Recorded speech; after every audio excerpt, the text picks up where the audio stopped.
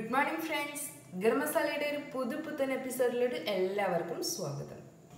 രണ്ട് ഗ്ലാസ് നല്ല നാച്ചുറൽ ആയിട്ടുള്ള പവർ ജ്യൂസാണിത് പവർ ജ്യൂസ് എന്ന് വെച്ചാൽ നല്ല ഹെൽത്തിയും അതുപോലെ തന്നെ നല്ല ടേസ്റ്റി ആയിട്ടുള്ള ജ്യൂസായിട്ട് ഇത്. വേറൊന്നുമില്ല പറങ്കി മാങ്ങ അല്ലെങ്കിൽ കശുമാങ്ങ ഉപയോഗിച്ചിട്ടുള്ള നല്ല കിടിലൻ ജ്യൂസാണിത് ഇപ്പോൾ സീസണൽ ഫ്രൂട്ട്സ് ഒക്കെ യൂസ് ചെയ്യണല്ലേ നല്ലത്?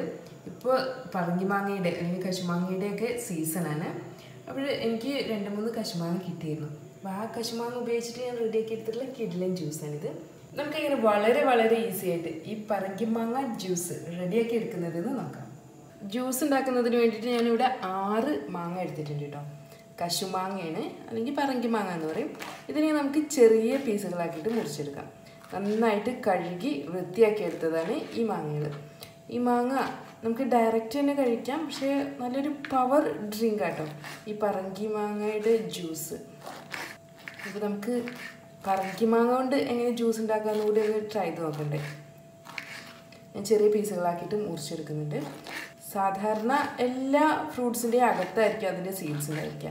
പക്ഷേ കശുമാങ്ങയിൽ അതിന്റെ പുറത്താട്ടോ. ഉണ്ടാവുക എന്താ പറയുക? ദൈവത്തിന്റെ ഓരോ വികൃതികളാണിത്. എല്ലാ ഫ്രൂട്ട്സിന്റെ അകത്തുണ്ടാകുന്ന വിത്ത് സീഡ് കശുമാങ്ങയുടെ പുറത്തുണ്ടാകുന്നത്.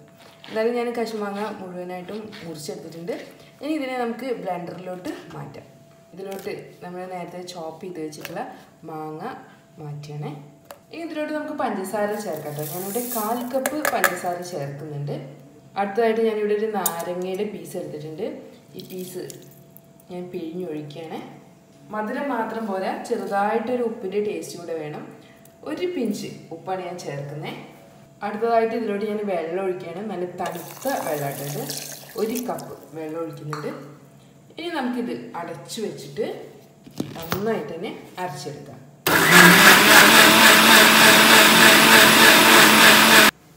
ഇനി ഇതിനെ ഞാൻ അരിച്ചെടുക്കാം കേട്ടോ കാരണം ഒരുപാട് അങ്ങോട്ട് അരിഞ്ഞു വന്നിട്ടുണ്ടാവില്ല.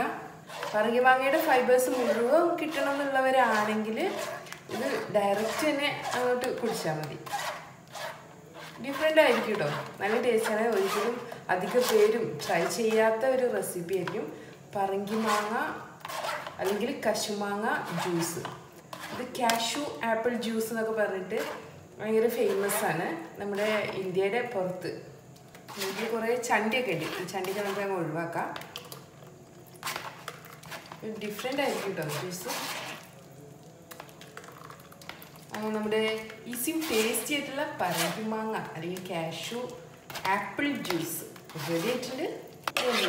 അത്യാവശ്യം നല്ല തിക്നെസ്സോട് കൂടിയിട്ടുള്ള ഒരു ജ്യൂസിനെ കണ്ടാൽ നമ്മുടെ കരിമ്പ് ജ്യൂസ് പോലെയൊക്കെ തോന്നും കേട്ടോ ഇനി ഇതിനെ ഞാൻ സെർവിങ് ഗ്ലാസ്സിലോട്ട് ഒഴിക്കുകയാണ് നമ്മൾ എടുത്ത ക്വാണ്ടിറ്റി കൊണ്ട് രണ്ട് ഗ്ലാസ് പറങ്കി മാങ്ങ ജ്യൂസ് കിട്ടിയിട്ടുണ്ടേ അങ്ങനെ നമ്മുടെ ഈസിയും ടേസ്റ്റി ആയിട്ടുള്ള പറങ്കി മാങ്ങ ജ്യൂസ് റെഡി ആയിട്ടുണ്ട്.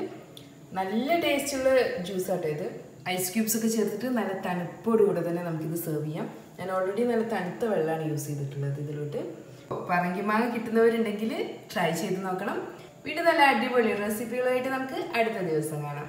Thanks for watching thank you thank you thank you thank you thank you